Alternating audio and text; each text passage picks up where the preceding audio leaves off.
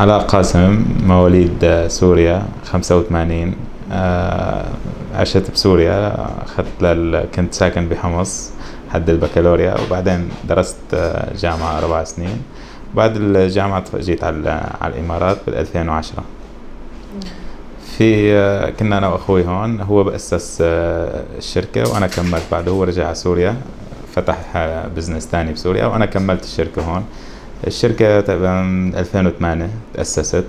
آه، بلشنا أول شيء بخدمات التنظيف وبعد فترة ضفنا الصيانة بعد فترة ضفنا مضاد الحشرات البست كنترول.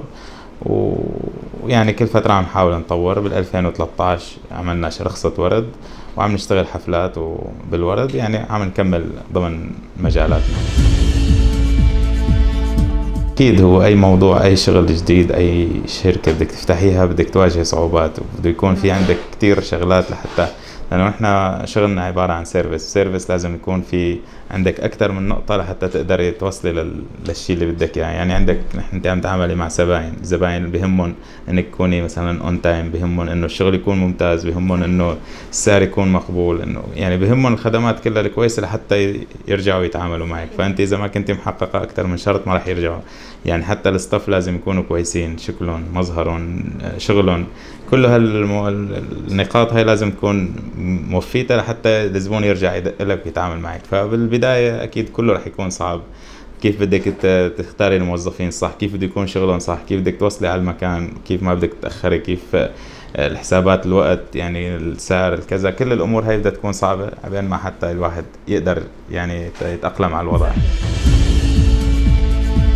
شركات كتير بس اللي بيميز هو يعني عدة نقاط ما قلت لك. يعني أول شيء إنه يكون الواحد صادق مع الزبون نعم. الأمانة لأنه نحن عم نبعث دائما على شقة فيها زباين فيها مصاري فيها مواد فيها ذهب فيها كذا فلازم يكون الموظفين اللي رايحين أمينين مع الأمانة والشغل النظيف. يعني هن ثلاث شغلات السعر الأمانة الشغل النظيف.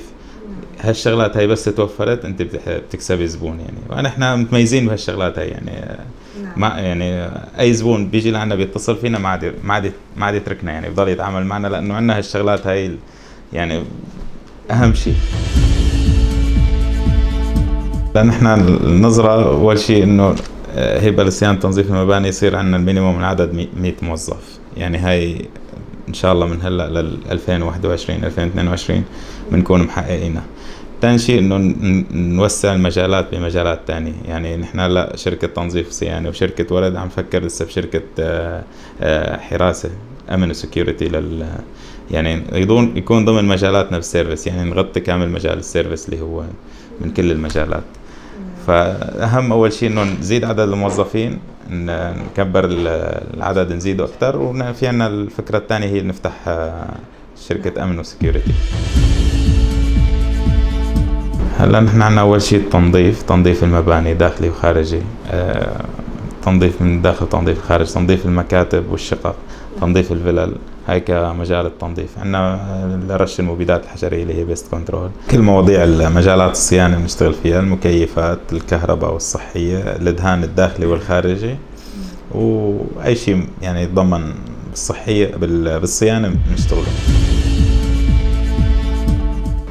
يعني بنصح الشباب اللي أي واحد بده يستثمر لازم يكون فوق آه، يعني يكون عنده خبرة بالمجال اللي بده يستثمر فيه. يعني ما بصير مثلا دكتور يروح يفتح مطعم ولا شيف يروح يفتح آه، شيء. يعني لازم كل واحد يختص بمجاله. وأي واحد بده يشتغل بالمجال لازم يكون فوق فوق شغله يعني ما بصير إنه هو يستثمر بشيء مع حدا تاني أو خلاص يكون هو لأنه ما حدا بدير باله على الشغل وبينتج منيح غير صاحب الشغل. نعم. يعني الواحد لازم يكون فوق فوق فوق شغله لحتى ينجح. شركة الزهور فتحناها بال 2013 آه تقريبا يعني متخصصين موضوع الحفلات. نعم. يعني بنشتغل بس حفلات. عندنا نحن نحن وشركتين بس اللي مسجلين بال World Trade Center فأي حفلات بتيجي على ال World Trade Center يعني نحن وشركتين بس اللي بنشتغلهم. فمختصين موضوع الحفلات عندنا أي حفلة بدها تصير بنعمل design بسيط تبعوت الطاولات حسب العدد وحسب الكمية. آخر مرة كان آخر وحدة ب 30 4 كان في عندنا حفلة بال World Trade Center. نفذنا 150 آه، يعني design على الطاولات كانوا ل 400 شخص كانت الحفلة. فشغل الورد هيك تقريبا بالحفلات يعني كل أسبوع عندنا حفلة حفلتين من بنجهز لهم وبنظبط لهم. والحمد لله ماشي الأمور. اجباري لكن أكيد أنا دائما حتى يعني أنا اللي بشتري الورد وأنا اللي بشتري الأزاز وأنا بكون موجود معهم حتى يعني من أول خطوة لآخر خطوة إنه توصلوا لهونيك توزعوا على الطاولات الأمور تمام. ساعتها بس على الضب والتغليف ما ما بكون موجود. بس بكون موجود على ال على ال الإشراف العام يعني. لأنه ما في لازم لازم يكون موجود واحد ما بيقدر يعني يعتمد على حدا بهيك مواضيع. أول شيء نحن يعني المستثمر أهم شيء عنده الأمن والأمان. يعني لما ما يكون في أمن وأمان ما بيقدر يشتغل. فيعني الحمد لله على نعمة الأمن والأمان والله يديمها إن شاء الله ويرجع الأمن والأمان لبلادنا. فموضوع الأمن والأمان هو أساسي يعني لأي مستثمر. آه الحمد لله هون الأمن والأمان ممتاز والحمد لله الأمور كلها كويسة. آه الله يطول بعمر شيوخنا هن اللي دايرين بالهم وسهرانين على راحة المواطنين وعلى راحة المقيمين وعلى الأمن والأمان.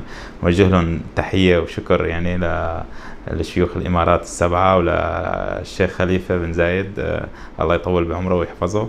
وإن شاء الله تضل الأمن والأمان عندهم وإن شاء الله هيك تصير الإمارات من الدول العظمى بالعالم يعني مو بس نعم.